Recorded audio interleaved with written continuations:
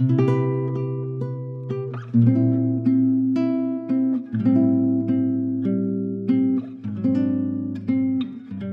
Hello you guys, welcome to episode 6 of the apartment makeover series. Today we are working on the kitchen. I didn't really think I was going to film an apartment makeover video dedicated to the kitchen, but as time went on I started making more and more changes to the kitchen, so I feel like it deserves its own video. Really quickly, I wanted to give you guys updates on some of the things that we worked on in previous episodes. First is the staghorn wall. I had to replace this staghorn because I accidentally broke it, so I have this one here right now and it doesn't look great, but it will grow in soon. Uh, yeah, I know this one's not the nicest. Everything's growing really well. Um, these lights help out a lot and yeah, I love this thing. And then here in the living room, we've changed quite a bit and this was also based on some of your guys' suggestions. I really like this little rug, but it was too small for this space and instead of getting rid of it, I got this larger jute rug to layer underneath it and I think it works really well like the black with the black striping over there. I'm pointing with my feet. Also, if you guys didn't know, I did ballet for like eight years. We added more shelves and books to the bookshelf. I'm also going to add a terrarium here. I'll make a video about this when I do. And what else? Found this thing um, to put behind the couch and it kind of like makes the living room feel more together or like closer because this is a pretty large living room and when the couch was against the wall, everything felt very spread out. Also now I can like put little things behind the couch and we can also put our drinks there and stuff. Those are the quick updates. I think I'm gonna make like a full update video on all of the rooms and stuff. So moving back to the kitchen and the dining area, this space it is just like every other room where it's very sterile and all white slash gray or steel appliances. I'm trying to kind of combat that and add in a little bit more color, warmth, and kind of like a cozy feel. I also want the kitchen to be very easy to use and convenient and accessible because Chris and I are trying to eat better. We started eating breakfast more consistently and it has honestly like improved our mood and our energy levels a lot. We've also been eating like more smoothies with veggies and fruit and protein stuff and that's also helped a lot. Who would have thought that like eating well just generally helps you in life? I've been told that so many times but I didn't really believe it but it is very true. So yeah, that's kind of like the general idea for this kitchen. I'm taking a lot of inspiration from things that I've seen on Pinterest and Instagram. I like to look at the rooms and the pictures and find what it is that I like about it. And generally I've found that I really like when things are hanging in the kitchen, like pots and pans and like cooking utensils. First I'll talk about what changes we've already made. So I guess starting in the dining room, we have these placemats. They have patterns and they kind of add a little bit of a fabric, softer feel to the dining room. My dad helped me hang this pendant light. I got it off Facebook Marketplace and it is or it looks like Louis, Louis Poulsen, I think that's how you pronounce it uh, pendant light. Yeah, I got it for like a really good price, so I don't know if it's actually authentic or not, but it's really cute and I've been liking orange a lot lately. It's kind of a bright pop of color, but it doesn't deviate too much from my general color palette. And then up here, my dad also did this. This is just a black track light from Ikea. There used to be just like a very basic lighting fixture up here and I chose black because I think it kind of adds a little bit more contrast into this kitchen because before everything was like so so white. We put this pot rack up. I'm able to hang my pots and pans and things. Makes it so it's really easy to grab them to cook. And I also think it just looks nice. But the main reason why I actually got this pot rack is so I can hang my hanging plants or my mounted plants on here when I'm watering. So that way they can drip directly into the sink. I will show you guys right now. It drips directly into the sink and it makes watering so, so much easier. I also got this new drying rack for my dishes and stuff. The bottom tray is at an angle, so any water that accumulates on the tray will just drip into the sink. And that's also really nice because the previous tray I had would just like collect water and be kind of gross. I also have this. It's like a roll up dish drying rack as well, but I use this for my potted plants when I water them. Just little things that make my plant care and just general life stuff a little bit easier. For convenience and usability, we just leave our appliances out. Coffee maker and rice cooker over there. Then over here's my worm compost bin. And then here are my microgreens. I am gonna talk about these later. This isn't their forever home. They're just here for now because I need to set up an area for them in my kitchen. As you can see, we have a ton of cabinet space. Like there's too much storage. Most of these cabinets aren't even filled because like what are we gonna do with them besides make them junk drawers for like random storage things. So to make use of it, my plan is to create a microgreen setup in here with the grow light and be able to grow some of our own food. I already took one of these cabinet doors out because my plan is to use this piece of cloth as kind of like a curtain door. I think it looks really cute and it adds some type of like coziness and some fabric to this kitchen. I've seen a couple of instances where people use this like curtain method for some of their open storage and I thought it looked really cute. I think it really warms up the space. I need to remove this other cabinet door and then put this curtain up. By the way, I'm keeping all of these cabinets and stuff. In order to put this curtain up, I am gonna use Velcro. So this is like an adhesive Velcro. I'm going to cut it to size.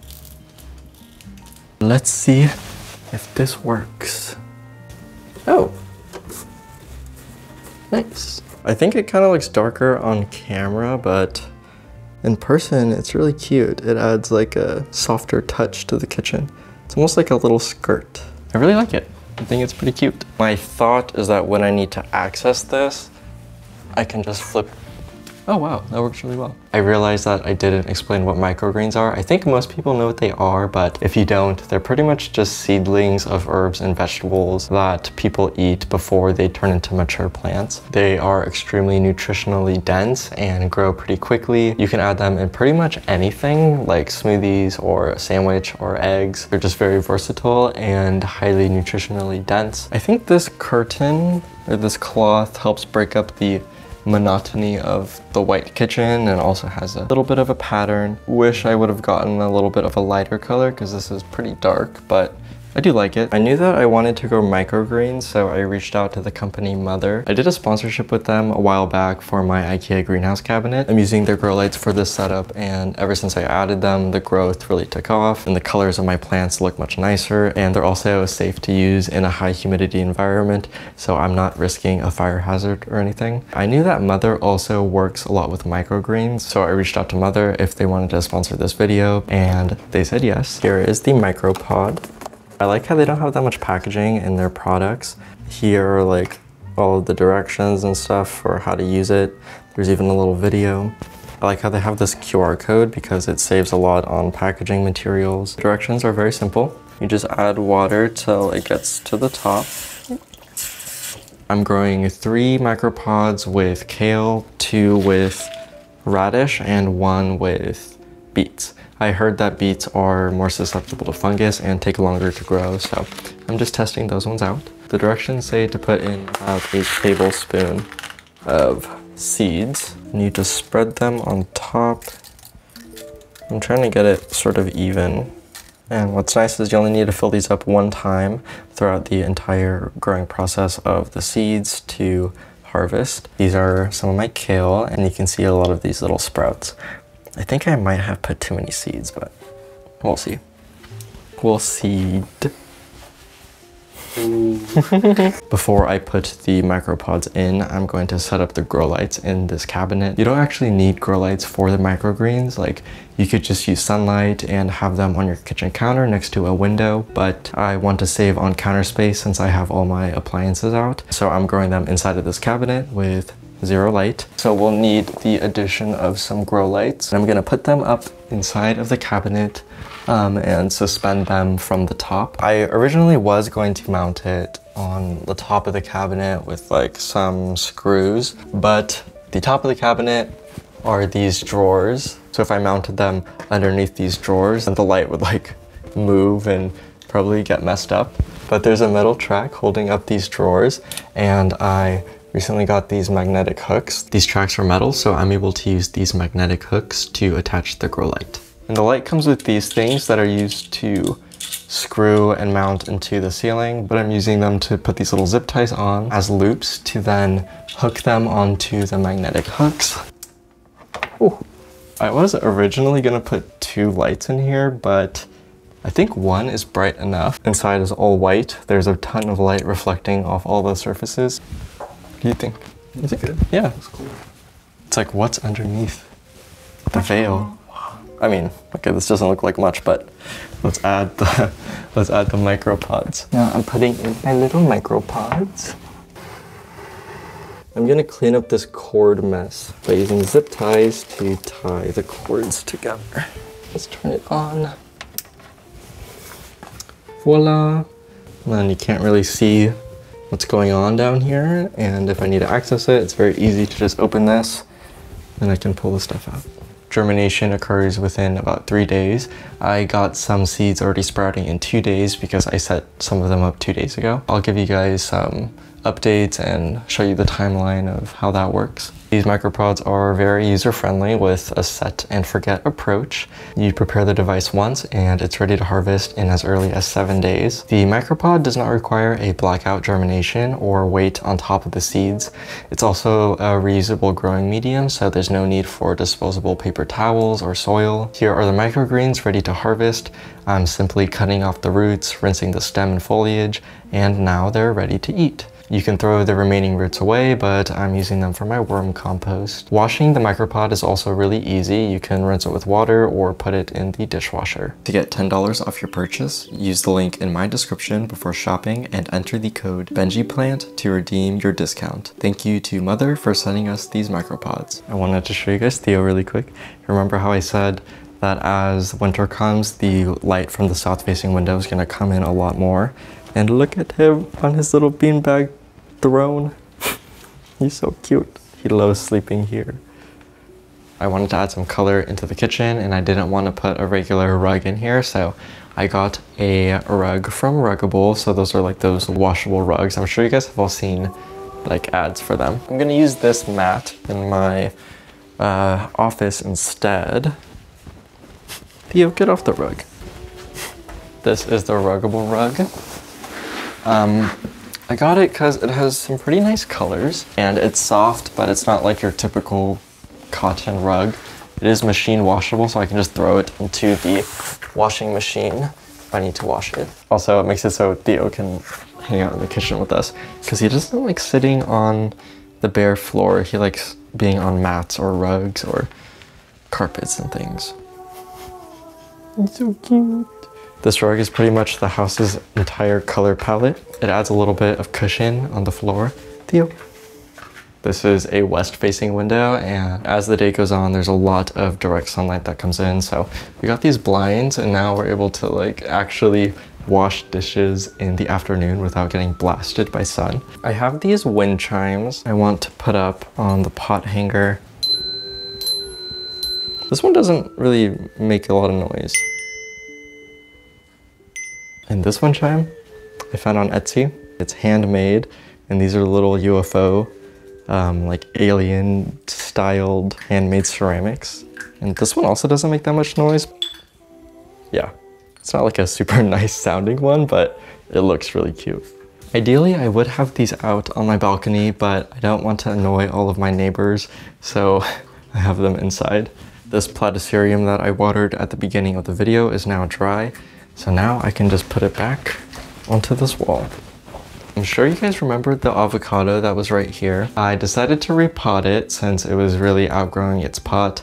And as I was repotting it, someone knocked on the door and then I answered it and then I completely forgot that I was repotting the avocado plant. Then the roots really dried up and it is not looking great. So I have this little Song of India tree here instead. A lot of the lower leaves died um, the root mass pretty much completely dried up, but it's on the road to recovery. I was looking at the photos that have utensils and pots hanging from the wall, but I didn't want to make any holes here because I was just worried about like drilling into this area behind the stove. Instead, I am going to use these little magnets again. Uh, what is this called? The exhaustion fan cooking the stove roof?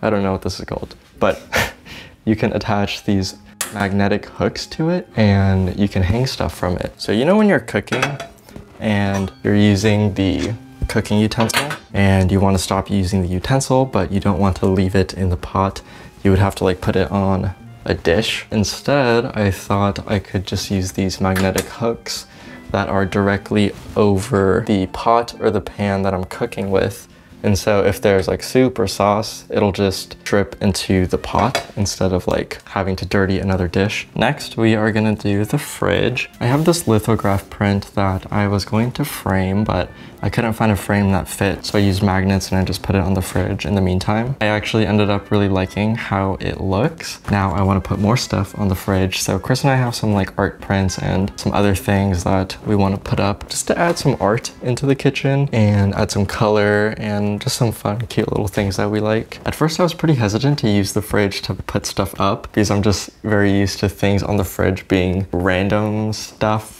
or like report cards. But then I was like, wait, we could just use the fridge pretty much as like a collage of things that we like. I found these little cats on Etsy. I thought they were magnets, but they're actually push pins. I don't have any use for push pins, so I decided to use this magnetic piece of wood that I have and I just pinned all of the little cats on the wood so they're all lined up. My little line of cats. This print is from a Studio Ghibli movie think it's from The Tale of Princess Kaguya. And then these three prints I got from the Yoshitomo Nara exhibit at LACMA a while back. Then I got this little orchid magnet from the Huntington Garden Orchid Show. I was looking for fridge magnets on Etsy and I found this. So this is Pokemon Red. It's not actually like a playable game. Um, I'm assuming they 3D printed this out. This print is from our friend Megan, Megan Wang. She's on Instagram and YouTube. Cute print. I love the colors on it. I don't have enough magnets, so I'm also using these magnetic hooks uh, to put up the prints. Chris and I, we can't have cats because we're both very allergic. I'm more allergic than him. I like break out in hives and stuff. But we both really like cats and this is the closest that we can get. It's just adding cat related art or things inside of our home. This is a picture that I took. I've been into finding thrifted frames and then printing out photos to fit the size of those frames. And yeah, so this is like a little one of a, a rock. It's at the Huntington Gardens. Where was that rock? My friend Jahao, he made this as a business card and I printed it out larger because I thought it looked super cool and I love the colors. I want to put it on the side of the fridge, that way you can see it from the entryway. I printed these two out of my parents. So I think this one's, yeah, this one's my dad, this one's my mom. Um, I took these photos of them and I thought they were really cute. And I don't have any photos of like my family or friends or anything yet. So my parents are the first to be printed out. But I don't know where I want to put them. I think I want to put them in the kitchen. It looks kind of weird because they're matching frames. It looks sort of awkward. I could put my dad's over here. I think I'll put my mom right here. What do you think, mom? I think she watches my videos. Oh, she's so cute. Here or here? Yeah. My dad can be next to the air fryer. He bought me this air fryer. I have some other pictures that I printed out and framed that I want to show you guys. There's this little one of Theo. Isn't it so cute? This little tiny circle frame. I knew I wanted to put a picture of Theo in this one. Over here, this picture of a koi fish. I thought it's really cute and I think the frame complements it really well. Like the orange and the shape. And look how much light is coming in right now. It's really pretty, but at the same time, it can get super hot, especially when you're trying to do the dishes. The lighting at night is also really nice in the kitchen. Before the lights that were on the ceiling, they were like such a bright overhead light that I never wanted to turn it on, but then it also made it super difficult to see in the kitchen. Now that we have these warmer toned lights mixed with this hanging light and then there's a can light back there behind the rice cooker and the coffee maker. This kitchen has much better ambiance, I think is the word. Still functional and you can still see. So yeah, that's been a nice improvement.